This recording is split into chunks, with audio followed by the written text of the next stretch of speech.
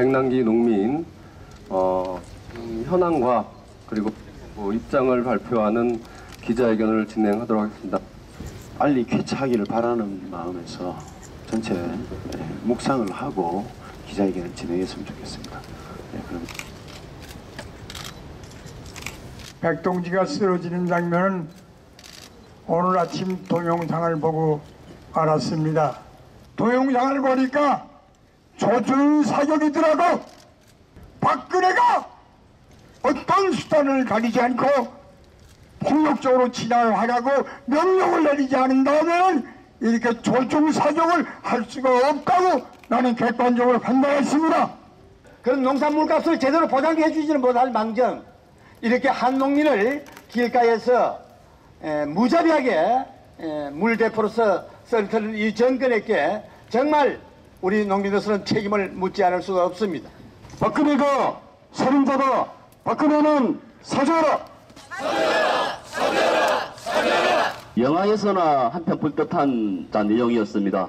갑자기 물대포 중 세 대 중 한 대가 바로 백남기 어르신의 발부터 쫓기 시작을 해서 발에서 시작했는 것이 바로 얼굴까지 가슴격으로 왔습니다. 백남기 어르신이 한 2, 3m 정도 뒤로 좀 넘어졌었고 제가 달려갔을 때는 백남기 어르신이 귀, 입, 코에서 피가 흐르고 있었고 87년이나 2015년이나 달라질 거 없는 경찰의 폭력성.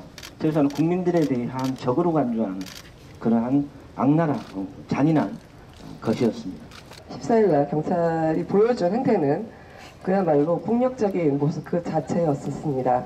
경찰이 이제 시민의 생명을 담보로 한 직사 그리고 특정인을 조준하는 살, 어, 살수가 지속적으로 이루어졌다는 것이 어, 제 집회에서의 경찰대의 가장 큰 문제라고 볼 수 있을 것 같습니다. 도덕체제 노동자 민중 13만 명이 서울에 모이게 만든 것이 누구인가? 12월에 촉파를 통해서 반드시 노동계약 제재하고 박근혜 정권을 끌어내리는데 앞서 투쟁하겠습니다. 고맙습니다. 헌법재판소에서도 금지시킨 차벽 설치와 원천 봉쇄 서슴지 않고 그렇게 하고 있습니다. 국가기관이 헌법재판소 결정을 정면으로 이렇게 짓밟는 행위를 그냥 놔두고 볼 겁니까? 그 현장 책임자 그리고 그 직접 그 이 작동했던 사람 구속 처, 처벌해야 된다 이렇게 생각하고요.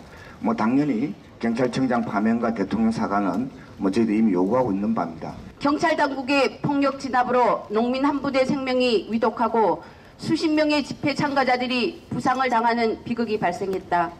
물대포의 직사로 충남 오모시는 고막이 찢겨지고 각막이 손상되었다. 수십 명이 골절 등 심한 부상을 입었으며 엄청난 양의 캡사이신 살수로 인해 500명 이상 시민이 피부 발적과 살인정권 박근혜는 퇴진하라. 명백한 살인행위 경찰청장 파면하라.